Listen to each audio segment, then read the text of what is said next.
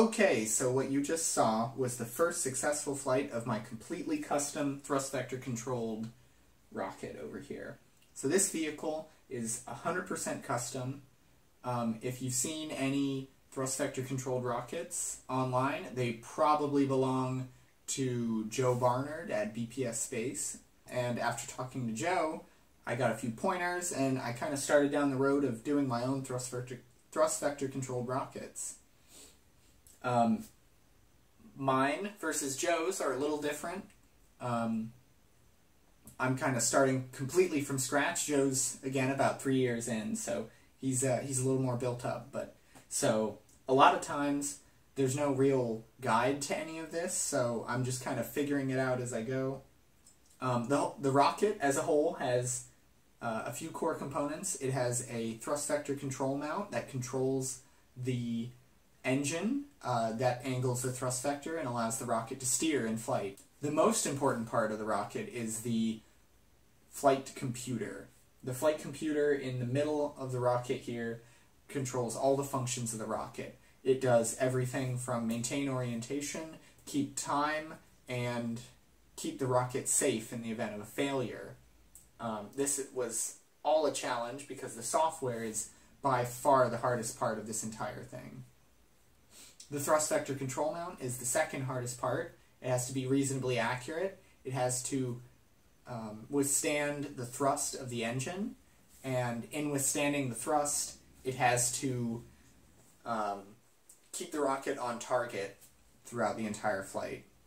Um, the commands from the computer have to make it to the uh, thrust vector mount, and when the commands hit the thrust vector mount, it has to have a quick response. So some of that's software, some of that's hardware.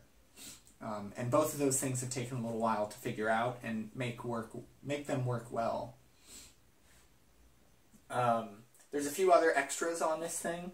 Um, it has mounting at the bottom for legs and uh, deployable fins up here. There's also a parachute up in the nose. Uh, this is pretty standard to any kit rocket you might see on the market. To assist in propulsive landing, at the top here there is a set of deployable fins. Um, these aren't your standard grid fins. They're a, uh, a flat planed fin, much like a, uh, a lawn dart when they deploy. Um, they deploy via a nichrome wire that goes around, and that uses one of the pyrotechnic channels on the flight computer. No matter how much testing you do, you can never fully prepare for that first flight. So, after doing a ton of testing behind the scenes, I ended up going into the first flight with some confidence, but there's always the possibility of things going wrong. And that's exactly what happened. Um, moments after liftoff, the pad retract mechanism did not move as fast as it needed to. The rocket ascended far quicker than I would have anticipated, and as the pad's strong back began to pull away, the rocket was already halfway up and there was contact made on the, uh, the vehicle stabilizer at the top. Due to this contact, the rocket started to rotate. Uh, once the vehicle started taking on a rotation, it was kind of unstoppable, and the uh, the controller most likely couldn't keep up, and I kind of uh, scraped that off as a failure. There was a very interesting reverse thrust moment, though, where the vectoring system kind of regained control, and somehow the rocket was able to reorient itself just enough to put the engine in the direction that it needed to be to stop it from hitting the ground. Um, the first flight really didn't prove anything other than, wow, this was going to be a lot harder than I thought. After looking at how quickly the rocket was able to take off from the pad, I adjusted the movement speed of the launch pad's strong back. This little bit of delay allowed enough time for the strong back and the stabilizers to get out of the way of the rocket for it to leave. Um, I didn't really have any leads on what was wrong with the first flight, so this was my only lead going into the second flight. I also took the liberty of raising the control logic gains inside the rocket to tune it up, thinking that would probably help. So during the second flight, it had an issue with the thrust vector mount vectoring the wrong way, which you can very, very clearly see on takeoff. The rocket begins to curve wildly out of frame and then begins to head towards the ground. The vectoring system was actually steering harder into the ground the more the rocket leaned, so it antagonized itself until it completely smashed itself, which didn't go too well.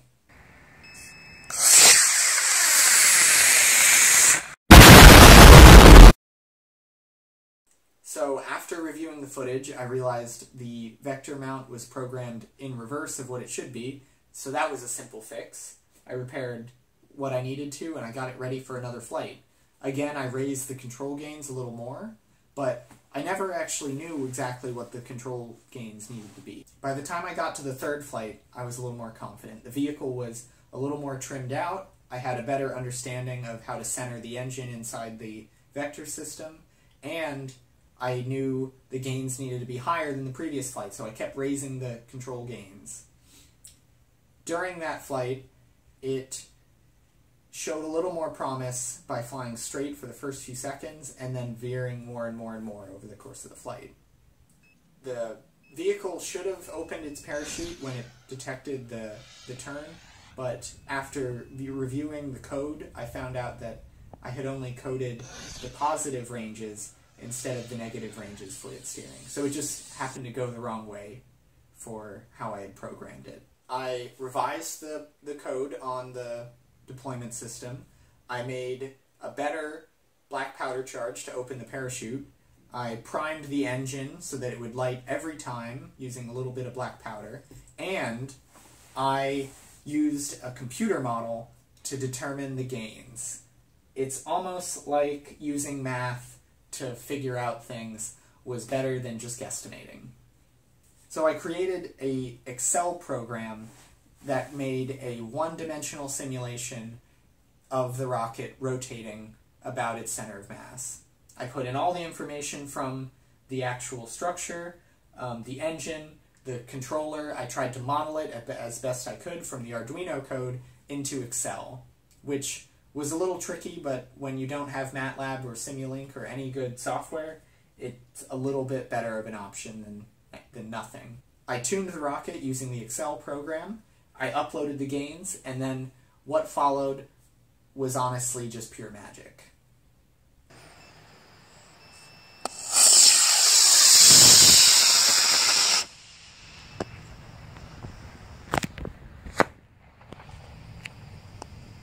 Only four flights, I was able to get a thrust vectoring rocket to fly in a pretty straight line.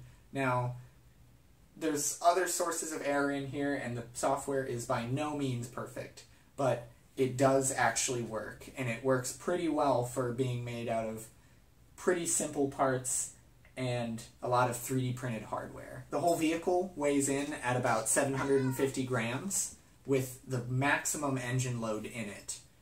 The with the legs attached to the rocket, it will add about 100 grams extra. So with two engines and a full set of four legs, the vehicle weighs in at only about 850 grams. So what's next? I intend to propulsively land this. The whole vehicle is made with the intention of being able to perform exactly as a real Falcon 9 does. So that includes operating using the upper stage after the first stage burns out, um, and propulsively landing the first stage after the flight. To do this, I have four legs that are deployable from the bottom of the rocket. It has deployable fins up at the top, and a second engine that will decelerate the rocket without the need for a parachute. In fact, eventually I intend to fly this without a parachute at all so that it can land as efficiently as possible on the minimum engine load. Next up, I'll be installing a custom flight controller into it. Um, this controller is my own design. It uses uh, printed circuit board and a lot of breakout boards uh, from Adafruit. And each of the parts I've just kind of figured out through trial and error of what works, what doesn't, and how to uh, how to write software to each thing. I've developed a brand new flight computer for the vehicle on printed circuit board that's far cleaner, far lighter, and far more durable than what's currently in the vehicle. The current flight computer is built on a breadboard with soldered jumpers in place and a lot less capability overall. It's a little smaller, there's less real estate for the components, and only two pyrotechnic channels. The next few flights will run on the brand new Talon flight controller. Um, the Talon is only in its first version, so it's still got a lot of room to grow. Um, it doesn't have any data logging capability as of yet. I collect a lot of my information via uh, video and looking at the angles of the rocket relative to time, and then returning that back into plots and charts to see how the uh, the accelerations and the rotations are moving over time. I have a pretty good understanding of what to look for in a PID loop uh, control unit. My first thrust vector control rocket wasn't this actually. Um, it was a uh, model SLS using a quadcopter flight controller. Um, I was able to adapt that into the application by treating it as if it was an airplane and kind of tricking the controller using our, an Arduino. Um, this is by far not the best way to do things. It's passable. Using the new Talon flight controller, I'm going to be testing out the fin deployment, the leg deployment, and eventually the stage separation and retropropulsive landing. So a second engine is going to be housed in here eventually with a new thrust vector mount and a whole new system for gimbaling the engines. The following flights after that, once I can get things a little more ironed out, I'll be running a second stage on top of the first stage. Um, this will also involve some testing of the upper stage, but it's almost a copy of the first stage computer inside of this upper stage unit. Um, the upper stage is much simpler than the first stage. Uh, it's comprised of just a nose cone, a parachute bulkhead with a parachute, and a flight computer and thrust vector mount inside. So thank you very much for watching. I appreciate all enjoyment in the project. It makes me uh, really excited to be able to share this stuff with other people it's uh, it's a very fun project. It's very it's been very engaging and it's a, a huge learning experience. Um, if you have any comments or questions, I'd love to answer them. Just put them down in the comments section below. On Instagram, you'll get the most up-to-date information on what I'm working on and how things are progressing. Um, I'm not very fast on my upload schedule, so I try and hold out until I have nice quality content to upload. So Instagram fills the void between launches for all the testing and other content that I, I've been working on. Um, these projects are very expensive, so I've opened up a Patreon. Um, by going to that Patreon, you can pledge money to support the project. All the money goes directly to the project and allows me to launch things faster to deliver content to you. So thanks for watching, and I'll see you in the next video.